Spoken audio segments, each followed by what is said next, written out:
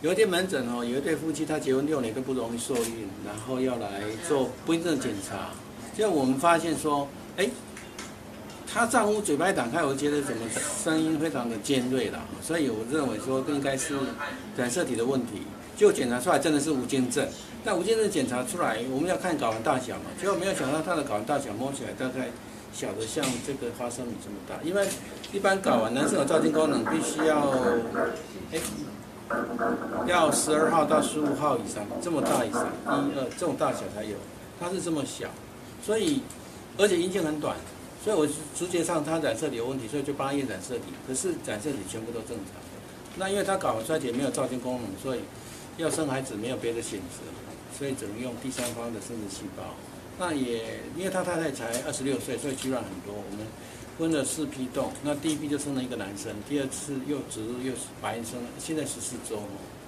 那染色体检查正在做当中，所以我这里要呼吁就是说，假如你今天是少数的无精症的患者哈，把命讲好。第一个先检查你到底有没有造精的功能，如果有造精的功能，你还是可以手术取精去生儿育女。那如果没有造精功能，其实也没关系，你还是可以透过第三方的生殖细胞来达到一一一眼指望。那无精症还有一种状况是可以打针产生精子，比如说你是脑下垂体低下，那这个大概打三个月到半年就有精子出来哦。这个我蛮多的个案，所以无精症的原有原有你要先找到是打针可以治疗的，还是开刀可以治疗的，还是都没办法治疗，只能用。